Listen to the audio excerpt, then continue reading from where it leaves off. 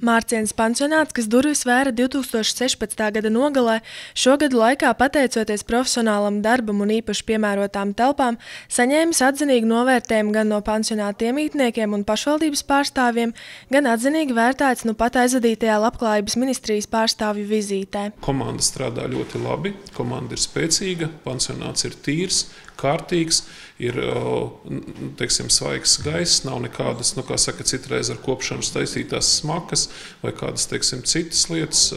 Telpas ir ļoti tīras, neskatoties uz to, ka viņas jau pāris gadus darbs notiek. Vislabākie iespējas un šobrīd vislabākās atsauces. Ļoti, ļoti labs tehniskais nodrošinājums.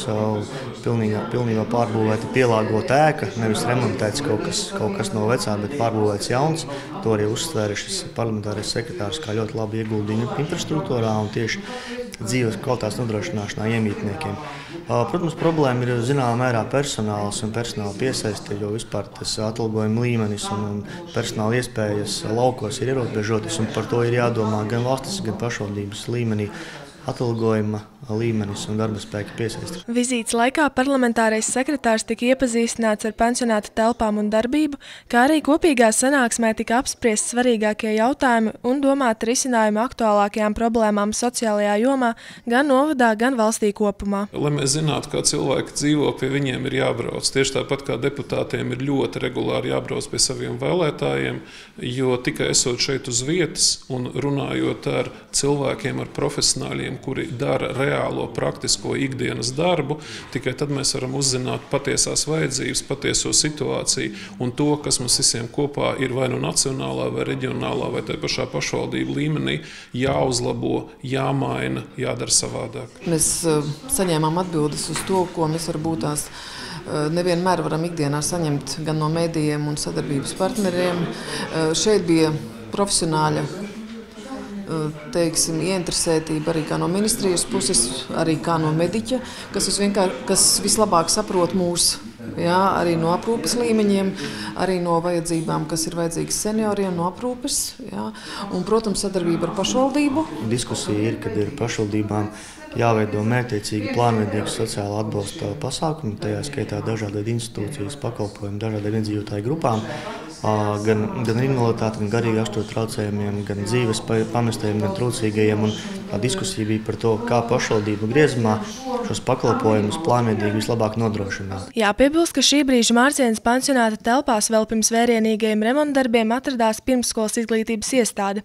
Savukārt šobrīd blakus atrodas neapdzīvota ēka, kurā nesen slēgta Mārcienas pamatskola.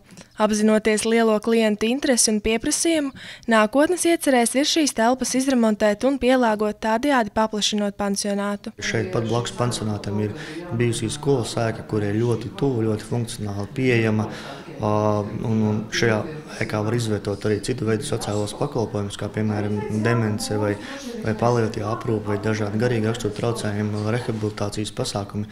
Mēs par to domājam, sāksim projektēšanas un ideju apspriešanas darbus un, un skatīsimies, iespējams, nākamajā plānošanas periodā ar Eiropas Savienības finansējumu varēsim iegūt šo funkciju realizācijai un šīs ēkas piepildīšanai tādu veidu saturu, kas būtu ļoti labi, jo ēkas, ēka ir laba, telpas ir labas un mazliet jāpielāgo un šo funkciju var ielikt. Ir pieprasījums.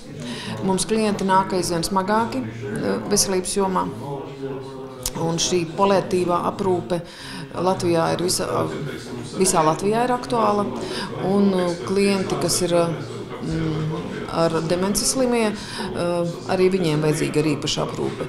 Līdz ar to atrodoties vienā ēkā, dažādi, dažādi slimībām cilvēki ir grūti veikt tādu nu, ļoti augstas kvalitātes aprūpi un arī vērst viņu teiksim, individuālo individuālo aprūpi un arī individuāli veltīt uzmanību viņiem, kas viņiem ir ļoti, ļoti vajadzīga. Zinot to, ka uh, sabiedrība viennozīmīgi novecos, zinot to, ka Latvijas ekonomisko situāciju mēs visi vēlētos, lai arī ir pozitīva tendence, mēs tomēr vēlētos, lai viņa būtu straujāka un šī ekonomika attīstītos labāk.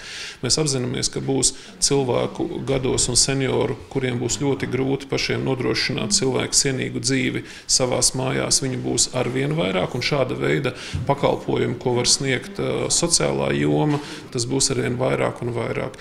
Līdz ar to pašvaldības uh, nu, redzējums uz paplašināšanos ir viennozīmīgi atbalstāms un kopā ir jāskatās, kā uz to mēs varam, kā jau es minēju, līdzīgi kā veselības sektorā, novirzīt arī Eirofondu līdzekļus. Būtiski, ka līdz ar jau minētajiem jautājumiem aktualizēts tika arī jautājums par certificēta fizioterapeita piesaisti pansionātam.